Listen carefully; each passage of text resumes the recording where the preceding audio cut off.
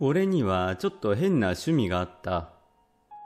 その趣味っていうのが夜中になると家の屋上に出てそこから双眼鏡で自分の住んでいる街を観察すること。いつもとは違う静まり返った街を観察するのがとても楽しい。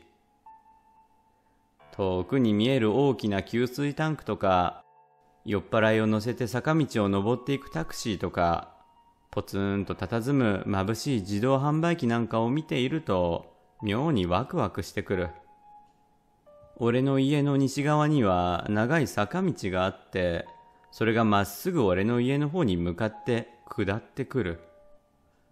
だから屋上から西側に目をやれば、その坂道の全体を正面から視界に収めることができるようになってるわけね。その坂道の脇に設置されてる自動販売機を双眼鏡で見ていたら、あ、大きな蛾が飛んでるなぁなんて思っていたら、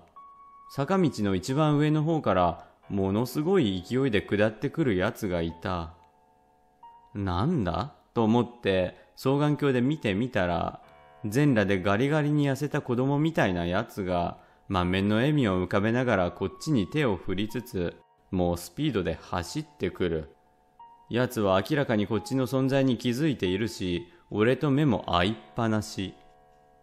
ちょっとの間あっけに取られて呆然と眺めてたけど、なんだかすごくやばいことになりそうな気がして、急いで階段を降りて家の中に逃げ込んだ。ドアを閉めて鍵をかけて、うわ、どうしようどうしよう、なんだよあれって怯えていたら、ズタダダダダダダって屋上への階段を登る音がした。明らかに俺を探してる。すごいやばいことになっちゃったよ。どうしようマジで。なんだよあれって心の中でつぶやきながら、声を潜めて物音を立てないようにリビングの真ん中でアイロンを両手で握って構えてた。しばらくしたら今度は階段をズダダダダって下る音。もうバカになりそうなくらいガタガタ震えていたら、ドアをタンタンタンタンタンタンって叩いて、チャイムをピンポンピンポンピンポンピンポンピンポンピンポンピンポンピンポン鳴らしてくる。うん、うん、うん、って感じで、奴のうめき声も聞こえる。心臓が一瞬止まって、ものすごい勢いで脈打ち始めた。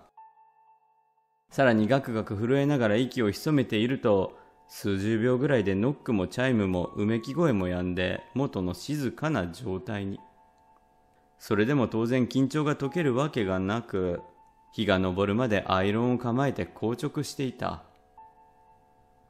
あいつは一体何者だったんだ？もう二度と夜中に双眼鏡なんか覗かない。